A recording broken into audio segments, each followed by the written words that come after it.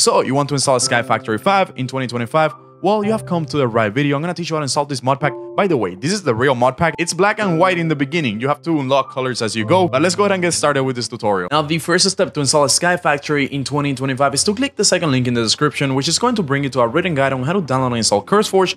Now, before you go away, CurseForge is the launcher that is going to allow us to install Sky Factory. And not just a Sky Factory 5, but any other Sky Factory or any other mod pack that you want. And I'm gonna make it super easy. Click that second link these are written guide. You could look at the screenshots and read through the text, but if you want to make it quick, go down to step one and click CurseForge. That'll bring you over here where you could select your operating system if you scroll down. But in this video, I'm going to use the Windows one, so go ahead and click the download standalone if you also have Windows. If not, just scroll down and download the other ones. Now, once we have CurseForge downloaded, let's go ahead and drag and drop the installer into our desktop. This is the file that we will use to install CurseForge super quick. What you want to do now is simply double click on the CurseForge installer. You might get a little prompt saying, are you sure you want to allow this app to run? If you do, just go ahead and allow it, and then you'll get this screen in here where you could select the language, click next, select the installation folder. If it doesn't let you change it, you might have to launch it as an admin and then you'll be able to change it and then click accept and then hit next and wait for CurseForge to install. By the way, the mod pack that we're about to install is an offline mod pack, meaning that you're only allowed to play it on single player unless you create a server or let professionals do it for you. If you want to play Sky Factory with friends, use the first link in the description and create a server with Apex Hosting.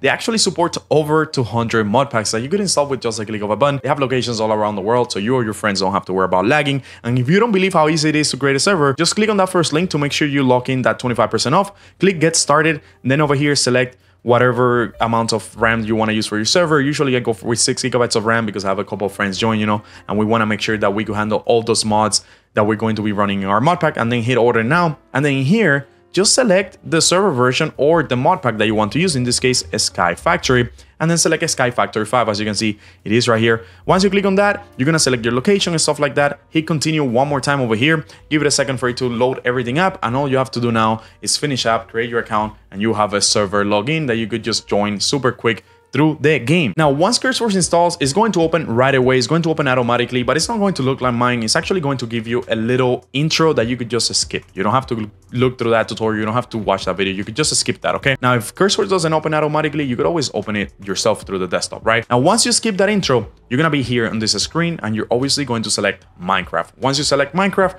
then you're gonna be moved over here. You probably won't have any mod pack. As you can see, these are my mod packs that I already installed. You won't have any in here. What you have to do actually is head over to the browse tab over here and then just type Sky Factory here on the top on the search for mod packs tab. So Sky Factory, type it all together and then just hit enter and then a Sky Factory will come up. Just look for a Sky Factory number five. Just make sure it's made by this person in here if you're not sure, just click on their name and make sure they're the ones that created Sky Factory, okay? Now, once you find a Sky Factory 5 in there, just go ahead and hit install over here on the right and pay attention to the next part because it's actually pretty important to getting a Sky Factory 5 working. Now, if you want to play Sky Factory 5, anytime that you want to play the mod pack, you're going to have to open CurseForge. You're not going to be able to just open your regular Minecraft launcher and open a Sky Factory 5. You're going to have to open CurseForge and then you're going to see the mod pack here on my mod packs section under Minecraft. You'll see it right here. As you can see, it's installing right now. We're not able to play it, but once it finishes installing, we'll be able to play. Now, once the Sky Factory 5 installs, we'll see it in here, and like I said earlier, we'll be able to just play it from here. Go ahead and click on it. And now, guys, this part is really important. Once you hit play, a Minecraft launcher will open and it will have you log in.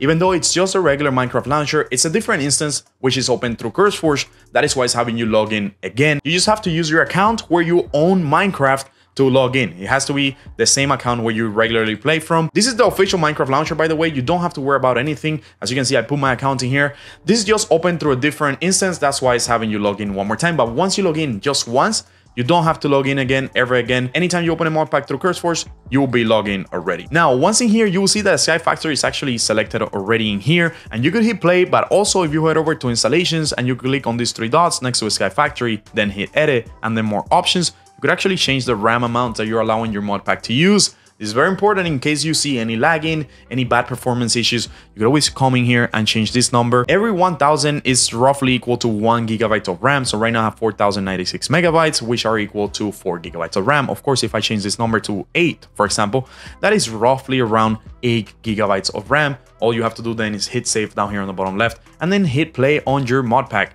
If you don't know what this is in here, you could just read more about play safety features and then click understand the risk and hit play one more time and play your Sky Factory 5 mod pack. Now, if in this moment you get a Java error or a negative one error or a one error code, just install Java 21. I'm going to leave this guide in the description in case you had issues when opening a mod pack. You need to update Java in your computer to Java 21 to be able to play most modern mod packs including Sky Factory 5. So I'm gonna leave that link in the description in case your game crashes right here. And there we go, guys. After a couple seconds, we got a Sky Factory 5 loaded in here.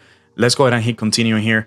And this is actually a pretty cool menu they have in here. I assume this actually requires a bit of RAM for your modpack to run without any issues. Let's go ahead and test this out. We're gonna test it on a single player world because again, if you wanna play this multiplayer, just use that first link in the description and create a server with Apex hosting. It takes less than five minutes. Now here we are in Sky Factory 5 and no, this is not a glitch. This is how the game looks. And as you progress, you will actually start getting colors in your world, guys. This is the new Sky Factory mod pack, and now it's time for you to start enjoying this mod pack. I hope this video helped you out. If you were able to install Sky Factory 5, don't forget to subscribe. That's all I ask in return. And as always, bye-bye.